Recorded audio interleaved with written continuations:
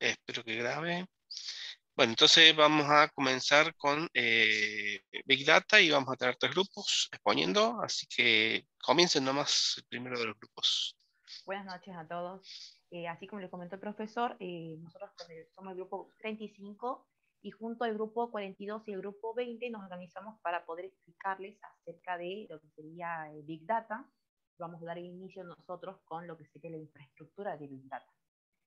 Antes que nada, presentarnos un poco. Eh, mi nombre es Estefania Maya y junto con Bruno Castellina y Lucas Carrizo vamos a dar la presentación.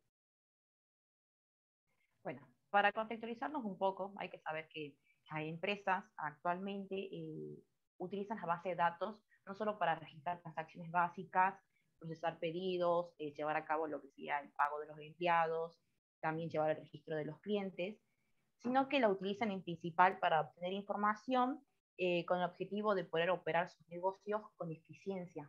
Eh, y también esto le permite, le da ayuda a los gerentes y a los empleados eh, para poder tomar mejores decisiones de negocio. Ahora, actualmente Big Data tiene un gran desafío, que es que la mayoría de los datos recolectados por organizaciones antes solían ser datos de transacciones que podían almacenarse en, en sistemas de administración de bases de datos relacionales. Pero actualmente se capturan datos, provenientes de, no sé, el tráfico web, mensaje de correo electrónico y contenidos de medios sociales, así también como datos generados por máquinas de los sensores o de sistemas de e-commerce. Estos pueden ser estructurados o no estructurados, lo que posiblemente hace que no sean aptos para, para las bases de datos relacionales. Ahí está. Eh, actualmente eh, se utiliza el término de Big Data para describir eh, el conjunto de estos datos con volúmenes tan grandes que están más allá de la capacidad de un DBMS común para capturar, almacenar y analizar los datos. También cabe aclarar que cuando hablamos de Big Data eh, no se refiere a una cantidad específica, sino que los datos eh, se encuentran en un rango de lo que serían petabytes y exabytes, y todos son provenientes de distintos orígenes. Ahí también hay que decir que eh, Big Data, a diferencia de los datos tradicionales, o también conocidos como Small Data, se producen en cantidades mucho mayores y con mucha más rapidez. a las empresas actualmente les interesa mucho lo que se llama Big Data porque eh, permiten mucho eh, revelar patrones y anomalías interesantes, las cuales proveen nuevas perspectivas, como el comportamiento de los clientes, patrones, patrones de clima, actividades de mercado financiero, y otros fenómenos.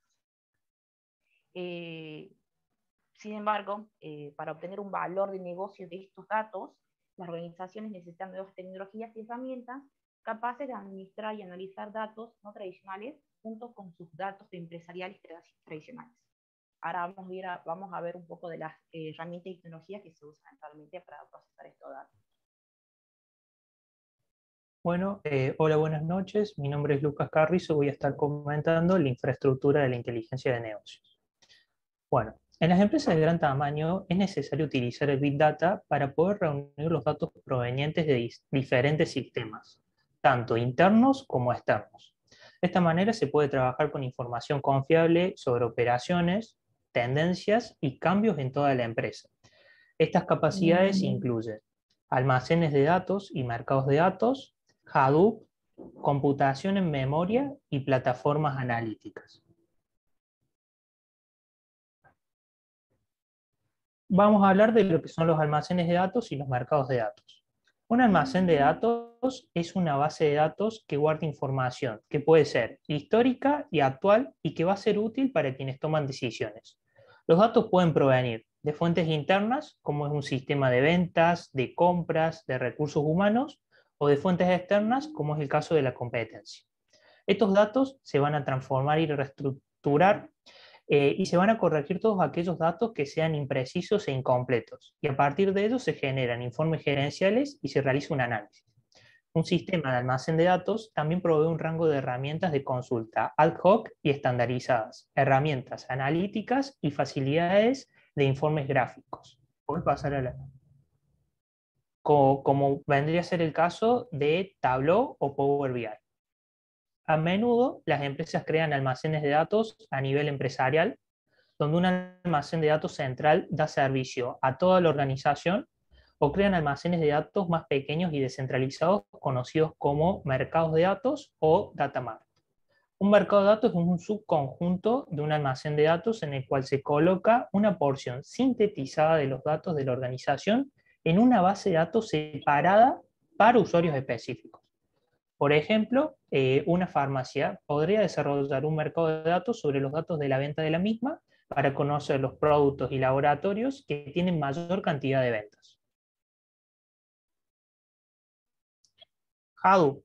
Eh, Hadoop es un marco de trabajo de software de código abierto que sirve para manejar datos que pueden ser no estructurados, complejos, semiestructurados y estructurados, lo que permite el procesamiento en paralelo y en forma distribuida de enormes cantidades de datos a través de casi cualquier dispositivo y se usa como un área de concentración de datos antes que sean cargados en un almacén de datos.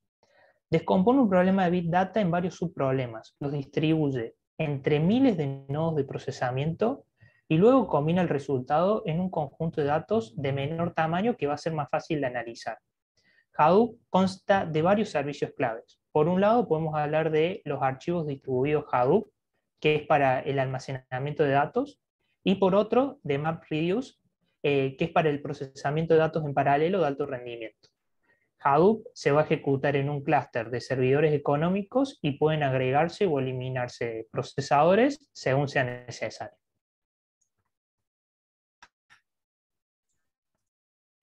Bien, para hacer una introducción a la computación en memoria, hay que recordar que los sistemas de DMS tradicionales continúan utilizando principalmente los sistemas de almacenamiento de datos basado en discos, lo cual genera como siempre un procesamiento mucho más lento y cuello de botella por todos los procesos de recuperación y lectura de datos. Haciendo base en esto, surgió eh, hace un tiempo lo que es la computación en memoria, que es básicamente unos nuevos DBMS que en lugar de almacenar la información en, en sistema de disco, lo hacen directamente en la memoria RAM, de forma que es muchísimo más rápida y es posible eh, aprovechar los beneficios de la computación multinúcleo de los procesadores. Este tipo de sistemas de base de datos lo que permiten es generar resultados de computación de negocio, es decir, cálculo de negocio complejo, en cuestión de segundos eh, y evitar los cálculos en cuestión de horas como es normalmente con los sistemas de BMS tradicionales. Se suelen también hacer uso de sistemas híbridos, de forma que una parte de la información se mantiene en memoria y cuando ésta se quiere hacer persistente ya se pasa a un DBMS tradicional en el cual la información se almacena en el disco. Un ejemplo de este tipo de sistemas eh, últimamente muy usado eh, puede llegar a ser Redis. A partir de esto, eh, surgen lo que se denominan plataformas analíticas, que es un nuevo software utilizado para combinar un conjunto de BMS diferentes y aprovechar las oportunidades y los beneficios de cada uno, entre ellos los sistemas relacionales, los sistemas no relacionales o no SQL y los sistemas en memoria, de manera que se puedan combinar eh, grandes cantidades de datos de diferentes medios sin importar su naturaleza y aprovechar los beneficios de cada uno para eh, obtener información crucial para el negocio de forma mucho más rápida. Estas plataformas se han llegado a empaquetar de forma que últimamente se ofrecen como SaaS o como Software as a Service en sistemas cloud como Azure, AWS o Amazon. Bueno, muchas gracias por su atención y a continuación va a pasar el próximo grupo a comenzar la primera parte de análisis de Big Data.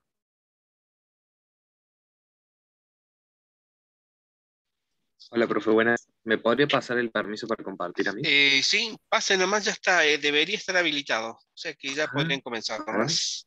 Ah, perfecto. Listo. Ahí se está viendo. Puede ser que. empezando. Ahí está saliendo la pantalla con todas las ventanitas abajo. Sí, todavía no estábamos presentando, pero ahora mismo lo presento. Sí, lo que no sé si cuando presentes te va a salir. ¿Ah? Ahí está, sí, ahora salió. Perfecto. Perfecto. Comiencen nomás. Bueno. Eh, bueno, buenas noches. Eh, somos el grupo 42, que como lo anticipó nuestra compañera, eh, es uno de los que se va a encargar de presentar el análisis Big Data como parte de esta clase. Eh, nuestro grupo está conformado por eh, Guillermo Marcel, Grisel García y yo, eh, Paso César. Lo que vamos a presentar en esto es la primera parte del análisis Big Data, en el que vamos a cubrir ciertos tópicos asociados a las plataformas analíticas que nos estuvieron comentando los chicos del grupo anterior en, en la presentación anterior. Bueno, Vamos a empezar con definir estas plataformas analíticas y qué es lo que hacen.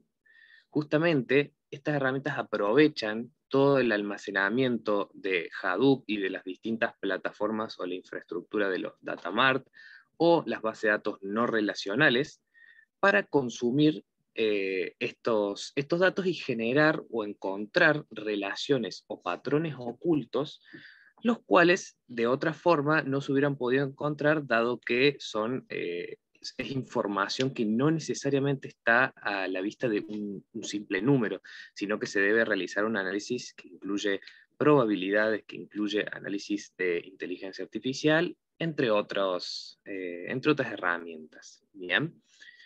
Bueno, vamos a hablar ahora de qué utilidad le provee a los negocios el Big Data.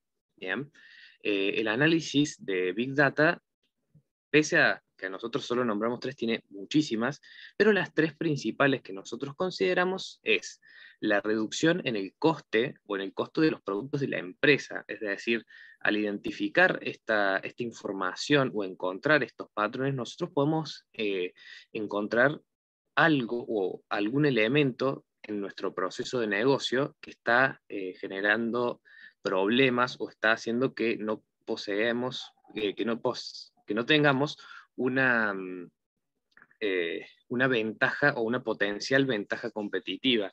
Esto implica, por ejemplo, el, la búsqueda o la, la identificación de distintas acciones que hace el cliente o algún consumidor de, nuestra, de nuestros productos que no le está siendo de utilidad y que provoca una reducción en las ventas, por ejemplo. Eh, otra de las ventajas que nosotros tenemos es la velocidad de procesamiento. Como el grupo anterior estuvo introduciendo, nosotros con una infraestructura asociada eh, basada en el cómputo, eh, en memoria o en, en la carga de bases de datos no relacionales, se puede lograr una velocidad de procesamiento inigualable, lo cual permite contar con información muy útil para la gerencia eh, en cuestión de segundos. Bien. Y la otra eh, ventaja que provee a las empresas es la capacidad de identificar potenciales eh, productos o servicios que puede ofrecer una empresa, como lo es al analizar cuáles son los gustos y consumos del cliente, cuáles pueden proveer no solo de nuestros, eh, de, la, de, la, propia empresa, sino que también de análisis de fuentes externas como eh, las redes sociales o los datos de algunos dispositivos como la geolocalización. De esta forma nosotros podremos encontrar eh, lugares recurridos en el cual se pueda plantear una nueva sucursal, o un nuevo producto que pueda cubrir una necesidad insatisfecha identificada al analizar estos grandes volúmenes de datos. Bien, vamos a pasar ahora a un pequeño ejemplo, eh, un pequeño gran ejemplo dado en, realidad, porque eh, nosotros con el análisis Big Data podemos inclusive cambiar los resultados de una elección, dado que, por ejemplo, eh, en las elecciones de Estados Unidos en el 2012, Barack Obama, quien se, se postulaba como candidato para ser nuevo presidente de los Estados Unidos, realizó, bueno, o su, compañía de marketing realizó un análisis utilizando la plataforma HP Vertica, que es un conjunto de eh, herramientas y dispositivos que realizaron cómputo distribuido análisis con Machine Learning y eh, minería de datos para realizar un análisis del sentimiento para encontrar el perfil de los votantes, es decir, poder identificar quiénes son aquellos usuarios que, eh, aquellos votantes que no estaban todavía decisos con su eh, elección.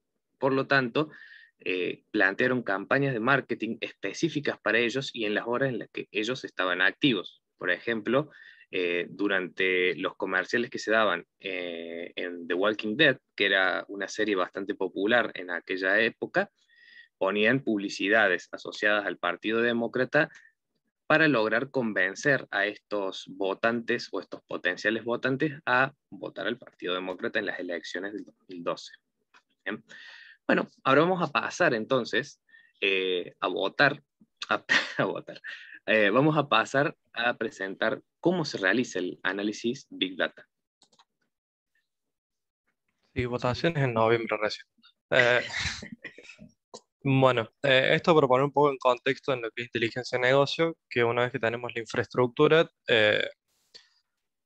se tienen un conjunto de herramientas que permiten resolver problemáticas muy específicas. Se utilizan un conjunto de software y herramientas de software para analizar los datos y producir informes, responder preguntas eh, planteadas por gerencia, eh, rastrear el, el, progreso de la empresa utilizando indicadores eh, claves para el desempeño.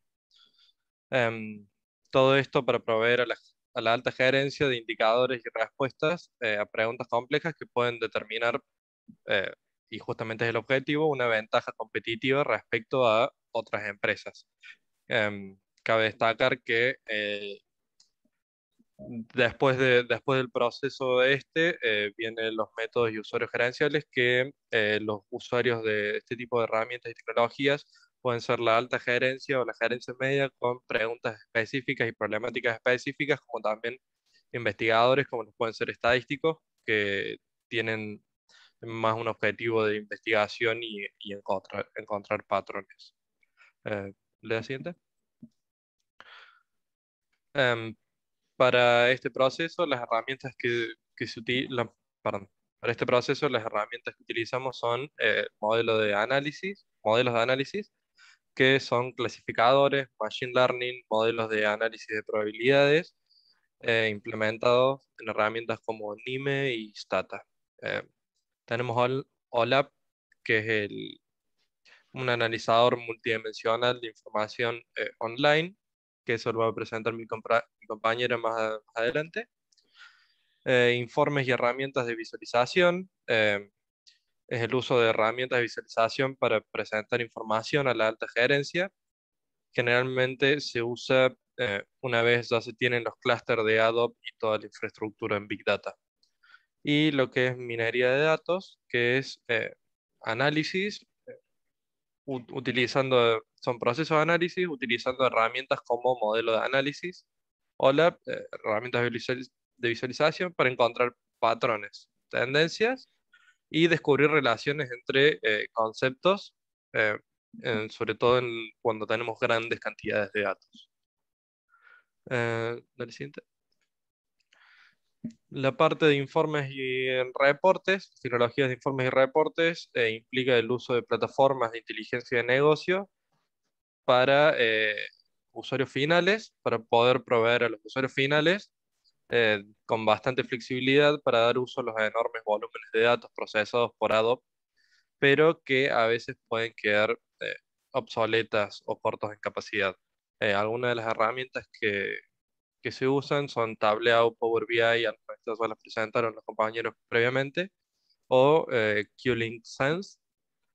Eh, permiten eh, el análisis y la, visualización de información, sobre todo de manera ágil, para la toma de decisiones a corto plazo.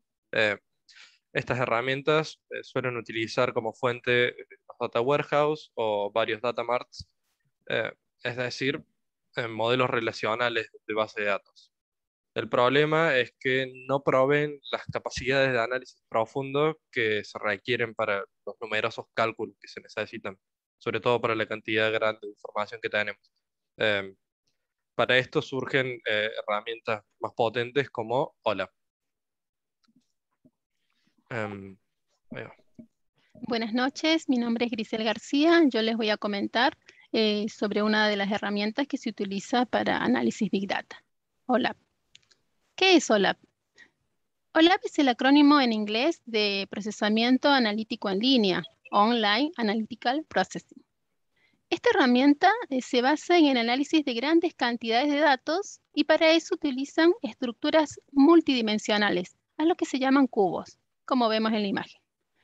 Estos cubos son vectores, como ya dijimos, eh, multidimensionales, en los cuales se coloca la información y se ordena de manera jerárquica para hacer un análisis rápido de datos.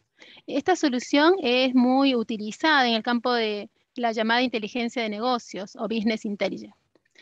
¿Cómo son estos cubos? Los cubos SOLAP eh, se pueden considerar como una ampliación de las dos dimensiones de una hoja de cálculo. El procesamiento de estos datos se realizan a través de métricas, que son los cálculos de valores asociados al negocio, los cuales son filtrados en cero o muchas dimensiones diferentes que permiten personalizar cada reporte generado. Entonces, en cada una de las dimensiones del cubo se hace la incorporación de datos de un campo o área específico de la empresa y luego se compara con el resto de la información de las otras dimensiones. Em, la idea es que eh, los datos se crucen, se relacionen con otros datos y eso eh, permite que la información eh, pueda ser ampliada. Esta base de datos eh, provee información para realizar diferentes informes eh, de negocios, de ventas, eh, puede ser de productos, de mercados, informes para la dirección, minería de datos, por ejemplo. a continuación, en la próxima filmina, vamos a comentar un poco más cómo se puede aplicar. Hola. con estos cubos multidimensionales, eh, se pueden realizar diferentes informes de negocios. Eh, como ya dijimos, eh, informes para la dirección de productos, etc. supongamos que una empresa quiere tener un resumen rápido y simple de las ventas que tiene en uno de sus productos en las distintas sucursales, Argentina, Brasil, Chile. la herramienta es un desglose de la cifra de las ventas en un tiempo específico, por ejemplo, mayo, abril y junio.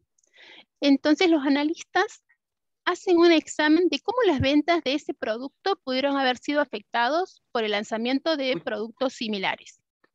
Cuando hacen esas proyecciones, eh, pueden obtener diferentes eh, tendencias de las ventas de ese producto. Y eso los va a llevar a hacer revisiones, por ejemplo, de las estrategias de negocio, cómo eh, poder posicionar nuevamente ese producto.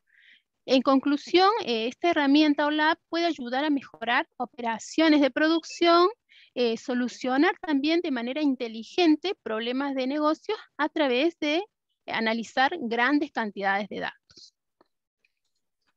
A continuación, eh, nuestros compañeros del grupo siguiente seguirán comentando más herramientas del análisis Big Data. Muchas gracias. Eh, muchas gracias. Ahí creo que ya deberían estar habilitados para poder continuar con... Perfecto, profe. Bueno, entonces a continuación comparto pantalla. Es perfecto. Mm. Eh, ¿Se estaría viendo? Sí, ahí se está viendo. Sí, Perfecto. Bueno, eh, mi nombre es Franco, eh, somos del grupo 20, eh, con José Amiune y con Priscila Palacio. Le vamos a presentar minería de datos.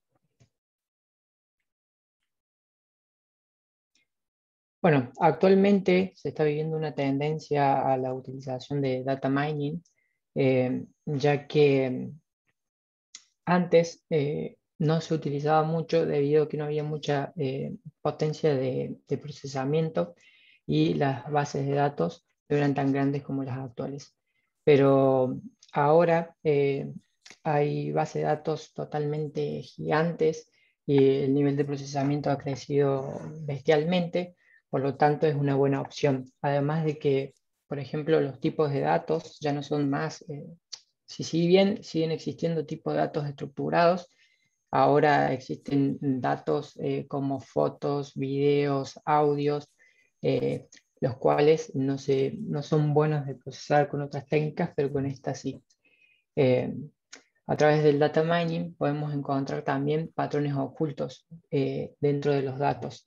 Por ejemplo, con base de datos de, distintos, de distintas cosas, por ejemplo, una casa y por ejemplo, las bases de datos de una inmobiliaria y las bases de datos de un vendedor de productos electrodomésticos, se pueden encontrar patrones ocultos, por ejemplo, de que una persona compra una casa y las personas que compran casas eh, dentro de la semana siguiente, el 50% compra una heladera nueva. Es un patrón oculto que no está eh, visto a simple vista, pero que el data mining lo puede encontrar. Vamos al siguiente, Filmina. Bueno, las herramientas que utiliza el, el data mining son redes neuronales que se entrenan con machine learning. Eh, esto porque al tener grandes cantidades de datos y de, el objetivo es encontrar patrones que no se, no se reconocen a simple vista, eh, hacerlo de forma manual, la estructura, sería casi imposible. Por tanto, eh, se utilizan redes neuronales en las cuales nosotros indicamos cuál va a ser el, el objetivo de la minería de datos y hacemos, la entrenamos con un set de datos eh, a través de Machine Learning y luego la ponemos a utilización para obtener los datos que queramos.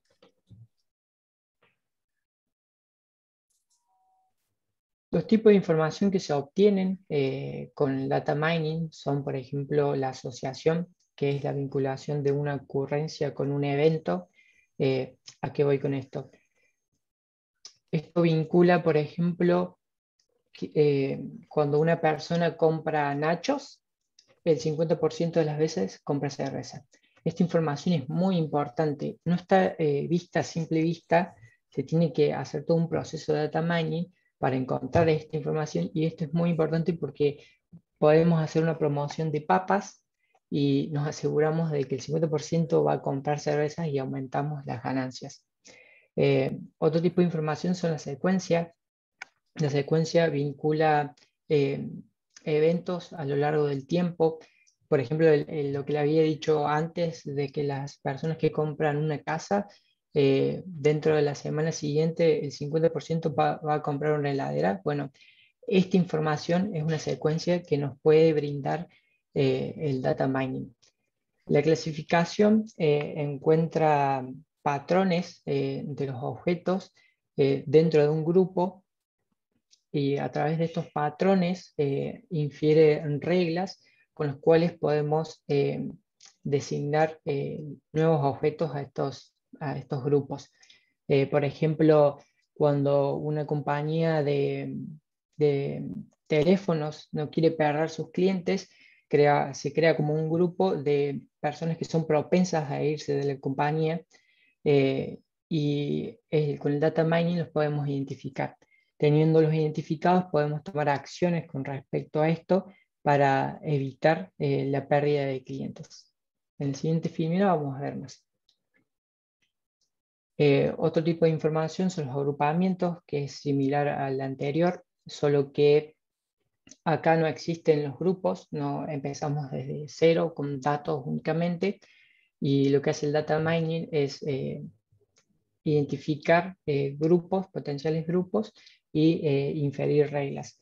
Esto sirve también, eh, como en el caso anterior, para identificar, eh, por ejemplo, personas que, que son propensas a, a, dar inversiones o personas según la, la, zona geográfica, de ese tipo de información estamos hablando. Luego, por último, están los pronósticos, que esto se basa en información en, con respecto al histórico. ¿no? Nosotros teniendo información del pasado y con el análisis podemos pronosticar eh, el futuro. Por ejemplo, eh, cómo es la, forma de compra de las personas.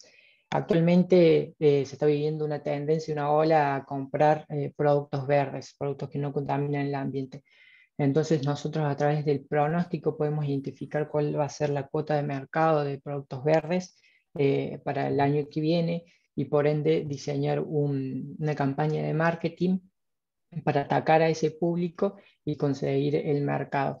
Y, por ejemplo, no excedernos con, hacer un marketing muy grande cuando el pronóstico nos dice que eh, no va a haber tanto margen. En el siguiente filmina. Bueno, eh, el proceso de la minería de datos lo voy a mencionar rápidamente porque mi compañera Priscila luego lo va a mencionar más a detalle. pero en grandes rasgos, primero se identifican cuáles son los objetivos que vamos a querer obtener con el data mining, el tipo de información y qué es lo que queremos analizar. A través de esto se identifican los datos eh, que vamos a utilizar. Luego se hace una limpieza de los datos, los datos que son basura y que no, no presentan ninguna información relevante se eliminan para que el procesamiento sea más rápido. Eh, luego se hace el data mining, el análisis de datos con eh, las redes neuronales. Eh, y esto nos produce una salida, los cuales pueden ser gráficos o informes, que los tiene que interpretar una persona capaz del negocio para poder saber si los datos le sirven y cómo, cómo actuar frente a estos nuevos datos. Bueno, eh, les voy a dar unos ejemplos de uso de minería de datos, los préstamos bancarios. Por ejemplo, eh, los bancos utilizan minería de datos para identificar cuáles son las personas que son propensas a ser deudoras. Eh, al tener personas deudoras, se, se les niegan los préstamos o se le dan préstamos pero a una tasa de interés mayor o se le dan préstamos más pequeños el marketing dirigido es muy, muy importante. Es como lo que había mencionado mi compañero de las elecciones anteriores, que se identifican cuáles son las personas propensas a eh, y se les eh, hace marketing a estas personas. Eh, por ejemplo, Facebook hace mucho marketing dirigido, e identifica cuáles son los gustos de sus usuarios y según los gustos, las empresas que lo contratan para hacer publicidad a Facebook Facebook identifica a estas personas y les hacen la, publicidad a ellas. Por lo tanto, es un marketing dirigido. Y bueno, fidelización de clientes. Para dar otro ejemplo de fidelización de clientes, eh, hay un caso muy, muy lindo, muy importante en, el libro, que menciona eh, que la, empresa, la segunda empresa más grande del mundo de apuestas eh, utiliza data mining para poder eh, fidelizar sus clientes. A través del data mining identifican eh, cuáles son los gustos de los usuarios, qué compran, cómo lo compran, si es en efectivo, con tarjeta de crédito, en qué apuestan, cuántas veces apuestan, cómo es el patrón, apuestan en un juego y luego apuestan en otro juego diferente, apuestan siempre en el mismo juego. obteniendo esa información con respecto a los clientes más importantes de ellos, pueden eh, realizar ciertas acciones para que estos eh, se fidelicen, apuesten mucho más en sus compañías, les compren más y eh, no se vayan a apostar a otras casas.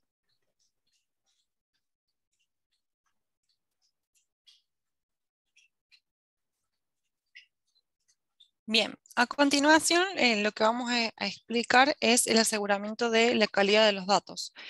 Em, sabiendo, digamos, lo utilizado que es la minería de datos en las empresas, eh, hay que asegurar que la información que se utiliza eh, sea precisa y confiable, obviamente, para poder utilizarla y llevar, llevarla a cabo en, el uso diario de la actividad que desarrollen. Por eso, a continuación, em, antes que nada, hay que tener en cuenta que em, Cualquier sistema de Big Data tiene cinco características fundamentales, que son denominadas las 5B. Volumen refiere obviamente a la gran cantidad de datos que ya los tres grupos hemos mencionado, eh, es mucho más grande de lo que era años atrás o en la antigüedad que se juntaban los, datos de manera manual, eh, así de pocos eran, se podían juntar de forma manual, ahora no, es masivo em, y eh, obviamente por eso variedad es otra de las características porque provienen de muchas fuentes, sobre todo de redes sociales y de la web, ahí hay miles de, de datos, pero también podemos tener datos de equipos industriales, los GPS, sensores, entonces la información es mucha. La velocidad es otra característica y hace referencia a que em, así como se generan en gran volumen y rápido los datos, también quedan obsoletos al poco tiempo y eso ocasiona que pierdan el valor. La veracidad de los datos hace referencia a que eh, algunos datos pueden llegar incompletos o pueden proveer de fuentes que no son confiables y el valor hace referencia a la utilidad que nosotros vamos a tener en cuenta de esos datos para nuestra actividad. Em, por eso es que con todas estas características, digamos, pueden presentarse errores a la hora de tener datos y eh, puede ocasionar de que sean imprecisos o que no sean confiables, que sean inoportunos, y eso ocasione a que lleve a, tomar decisiones que son eh, incorrectas en la empresa e incluso puede llevar a tener pérdidas financieras. Por eso es que eh, se recomienda, a ver, acá nosotros ponemos dos actividades fundamentales, pero engloba, digamos, parte del proceso de la minería de datos, eh, antes que nada, la inspección primero eh, comienza con la identificación de los datos. Vamos a buscar, digamos, los datos y vamos a verificar cuáles son incorrectos o no, cuáles están incompletos, aquellos que están duplicados eh, o son redundantes. Vamos a tomar todos esos datos y vamos a pasar a la limpieza. La limpieza de datos, lo que hacemos en Fundamental es ver cuáles, eh, con todos estos datos erróneos y tomar una acción a cabo, ya sea corregir los datos, en el caso que sean redundantes, eliminarlos, eh, o en todo caso cambiar el formato de los mismos porque eh, por ahí hay inconsistencia de los datos, dependiendo del área que utilice de la empresa esos datos puede haber inconsistencias y generar problemas. Luego se pasa a hacer el análisis, generalmente suele haber auditorías o inspecciones em, de los archivos de calidad que forman parte del análisis de los datos y se va a pasar, obviamente, con todo esto a tomar decisiones, que es la última etapa del proceso. Se recomienda en particular, nosotros lo ponemos ahí como reglas y estándares, eh, que, eh, a a la hora de trabajar con la base de datos, cada empresa determine algunas reglas para el manejo de sus datos, porque suele suceder mucho de que, por ejemplo, en distintas áreas se le pone eh, al mismo objeto distintos nombres, como eh, número de producto o ID de artículo. Entonces, al generar algún tipo de informe o reporte y necesitar cruzar los datos de ambas áreas o de áreas distintas, eso genera un conflicto, así que más que nada por eso eh, pusimos eso aclarando ahí que consideramos importante. Teniendo en cuenta todo esto, vamos a, lograr tener beneficios para la empresa que pueden generar ganancias, ya que, a ver, vamos a tener información más precisa sobre cómo nosotros eh, satisfacer las necesidades de los clientes o interactuar con ellos y obviamente esto va a generar mejores recursos de trabajo también para los empleados. Ahora, a continuación, vamos a, explicar dos eh, tipos de minería de datos. Eh, text mining, en este caso, digamos, es la minería de datos aplicada a datos de texto, que eh, los datos de texto son el 80%, representan el 80% en general de la información útil que utilizan la mayoría de las empresas. pueden venir de correos electrónicos, discusiones en líneas, encuestas, las fuentes son amplias, muy amplias.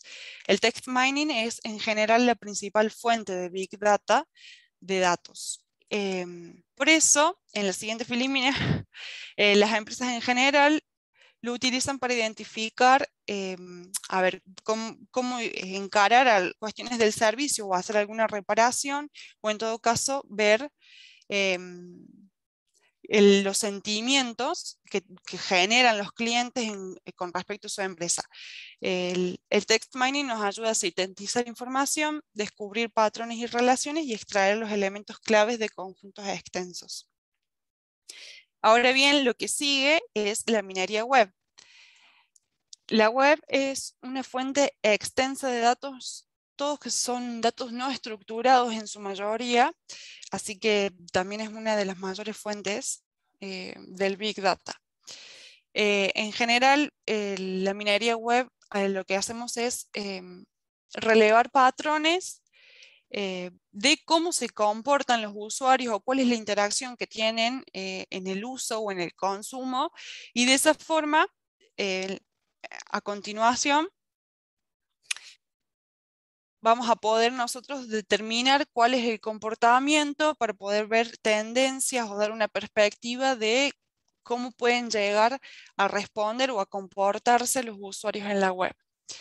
Em, por este motivo, las empresas recurren a la minería web para justamente comprender el comportamiento y de ahí ver eh, y tomar decisiones, porque a lo mejor de esta forma podemos ver si nuestro sitio web eh, está generando el interés que necesitamos o las, campañas de marketing que hacemos eh, están dando el foco que necesitamos en los productos que queremos promocionar o lo que queremos vender.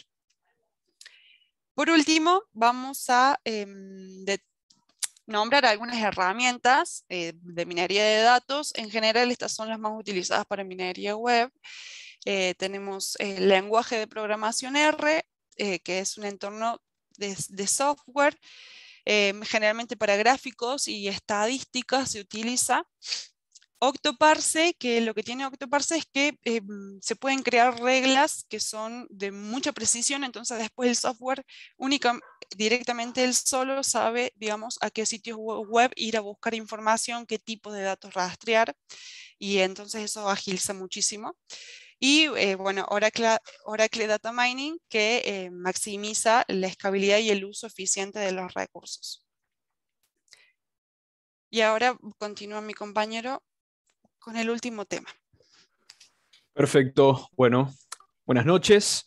Eh, si todavía los tenemos ahí y no los hemos perdido, les queríamos dedicar cinco últimos minutitos de manera de cierre o conclusión de todos los temas vistos, ¿no?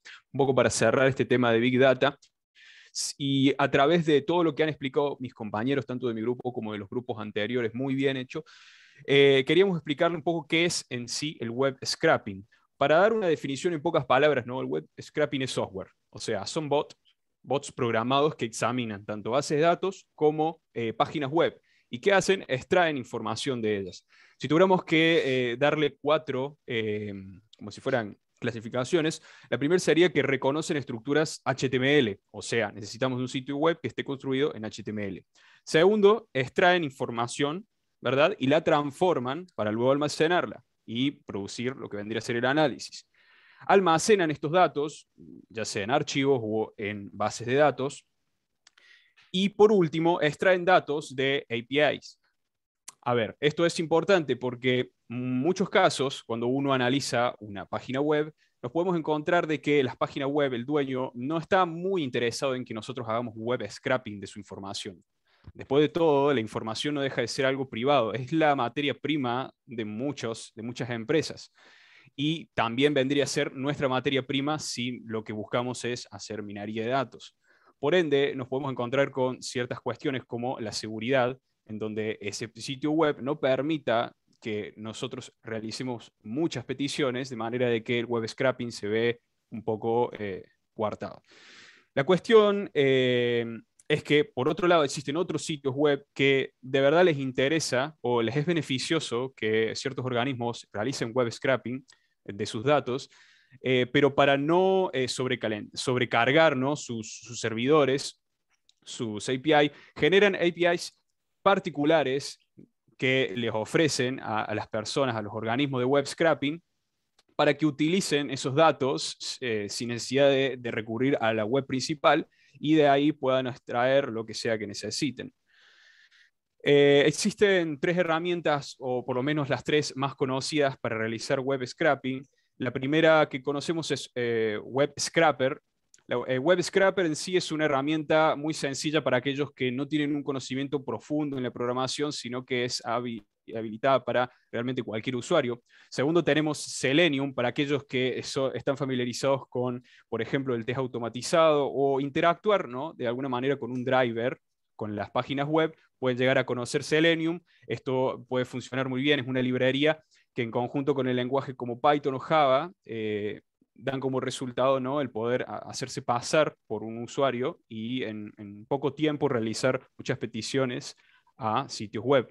Por último, tenemos a Cherio, o Chirio, como, como quieran pronunciarlo, que es una librería de Node.js, eh, que es la que justamente vamos a ver un pequeño ejemplo ahora para poder un poco llevar a, tierra a todo esto que hemos venido explicando.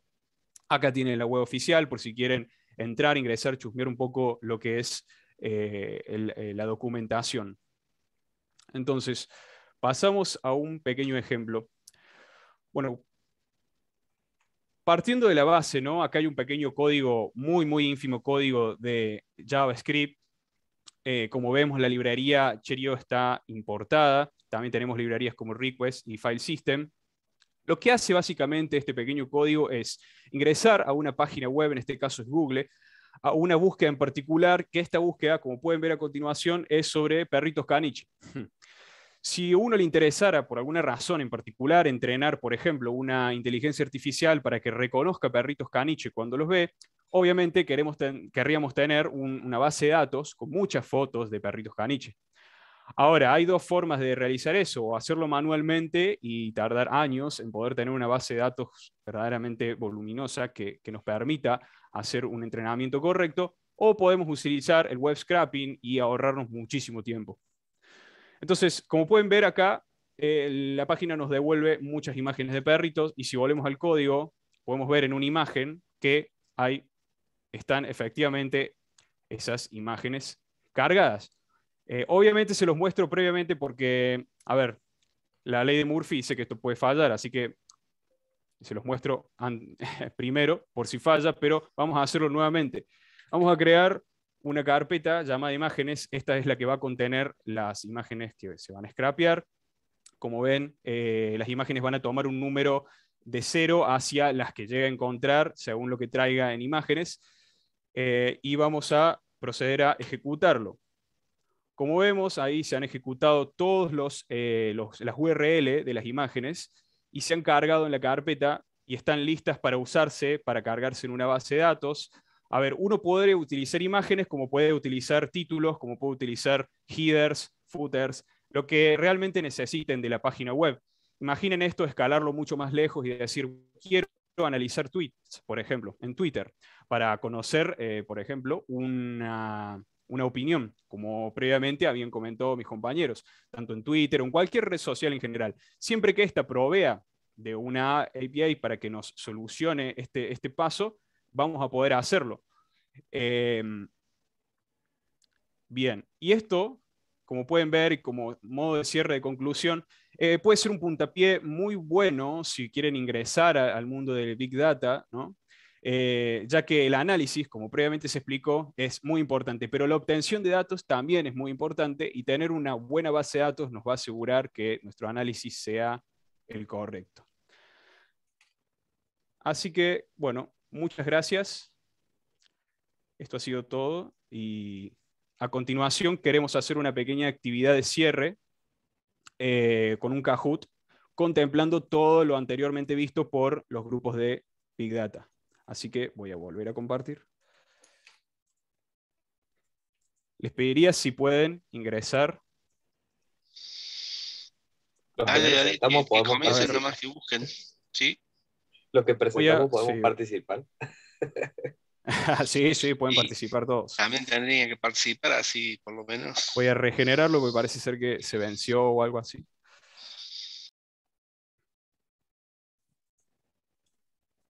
Bien. Bien, listo. Entonces este es el pin. Si quieren ir ingresando al Kahoot y con esto finalizaríamos. Ahí van ingresando. Perfecto.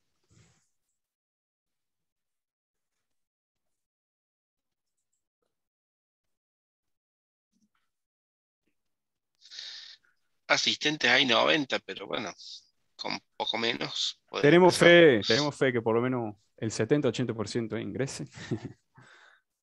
Preparen los cafés, preparen los mates porque va a ser largo. No, mentira, cortito. Son un par de preguntas de cada, de cada exposición y, estamos. Pusimos las preguntas a desarrollar, ¿no? De mínimo 30, 40 palabras. Obvio, obvio. Sí, sí, las que vos pasas. Hmm.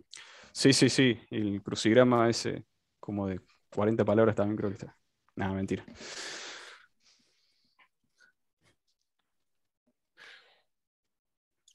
Bueno, esperamos un ratito. Si no sube más el número, arrancamos. Uh, gente, volvió Pampa. ¿Será, ¿Quedará primera de nuevo? Victorioso, Pampa. Siempre hay en el top. Sí, no, no lo van a tener que dejar entrar, porque si no, siempre gana. Sí, sí, tal cual.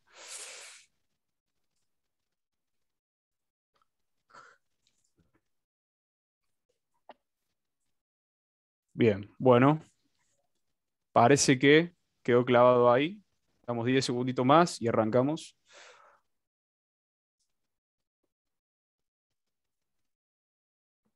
Esto contiene preguntas abiertas, no abiertas y semiestructuradas, chicos. Así que ¿Se puede avanzar y atrasar o es, es lineal? No, no. no, no, forma. línea. Si pasó, hasta las manos. ¿Nos van a mostrar el, el resultado? No. Bien, arrancamos. Big Data no se refiere a una cantidad específica, sino a los datos en el rango de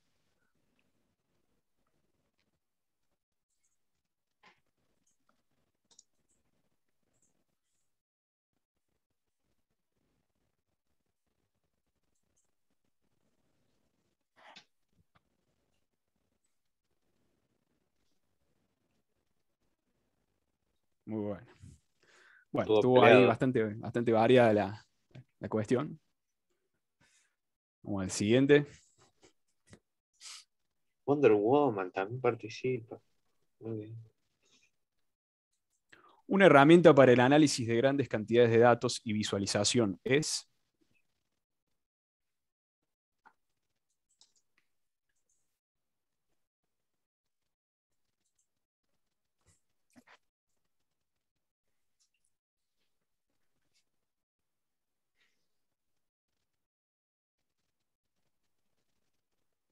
Bien, esta quedó clara.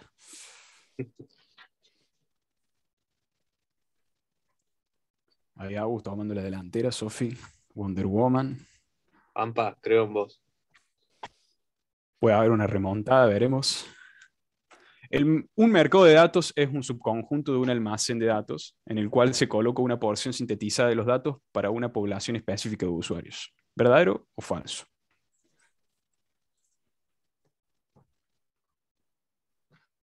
¿Eso no decía justifique también?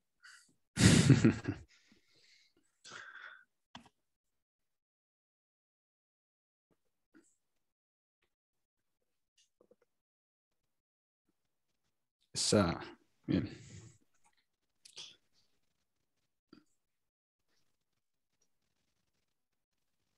Vamos a la siguiente. Las plataformas analíticas de Big Data para el procesamiento de datos combinan las siguientes tecnologías.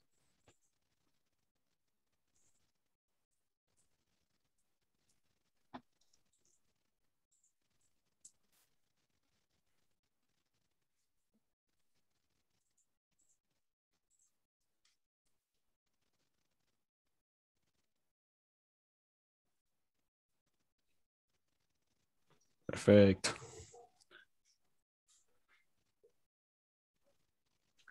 Se mantiene el podio. ¿Verdadero o falso? Una de las principales ventajas del análisis Big Data es la capacidad de brindar al usuario respuestas a preguntas que ni siquiera sabían que tenían, proporcionando un punto de referencia.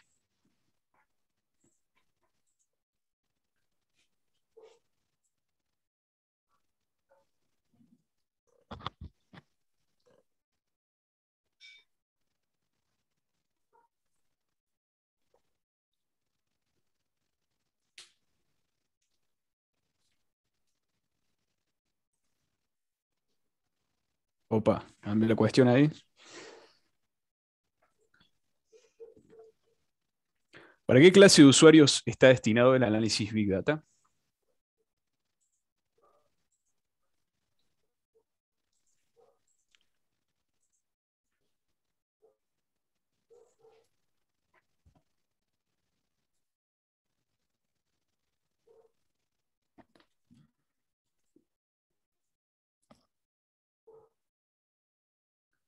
Perfecto.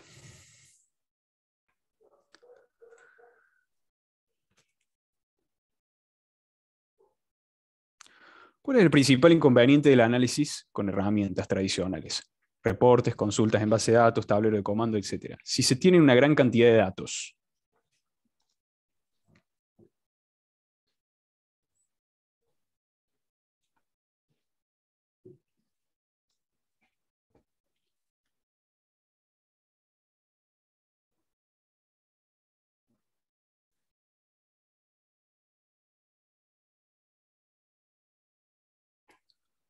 Buenísimo.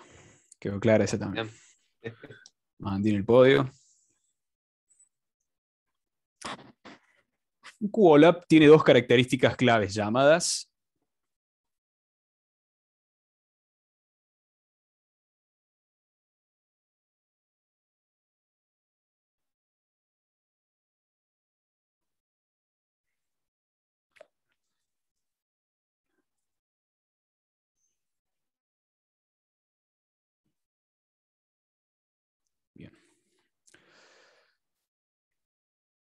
No sé quién es EA, pero le está pegando de una manera. ¿Cuál de los siguientes no es una herramienta para realizar web scrapping?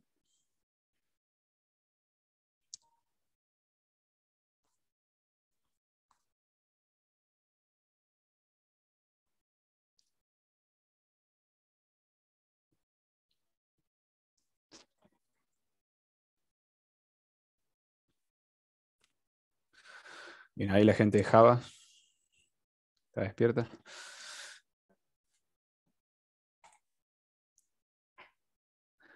¿Qué representan las 5B de la calidad de datos en Big Data?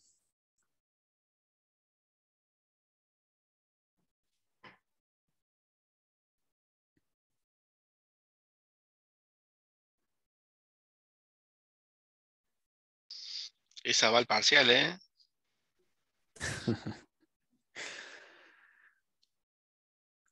Bien, bien, bien. Distribución normal. Dijiste bien, bien, bien, pero menos del 50% les hartó. Eh, por lo menos la, la, correcta fue la que más sacó, así que. Hay que ser positivo. Va para el parcial, sí. chicos, anoten. Se, se, se, parecen a, las elecciones que todos ganan y nunca llega a nadie en la mitad. ¿Dónde se originan la mayoría de los problemas de calidad de los datos?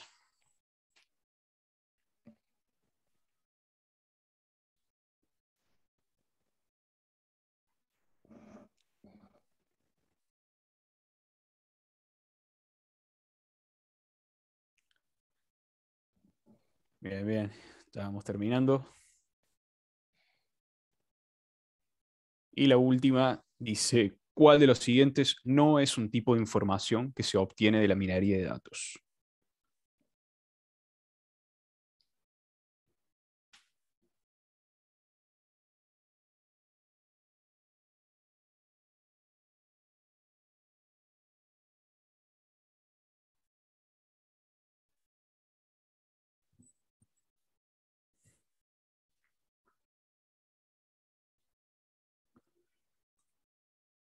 Bueno, hasta acá llegamos. Vamos a ver el podio.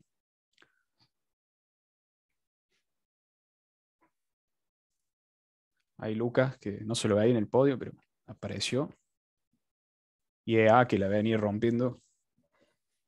Felicitaciones. Felicitaciones y bueno, muchas gracias por haber prestado atención, por haber escuchado y por estar ahí. Así que hasta acá llegamos. Buenas noches.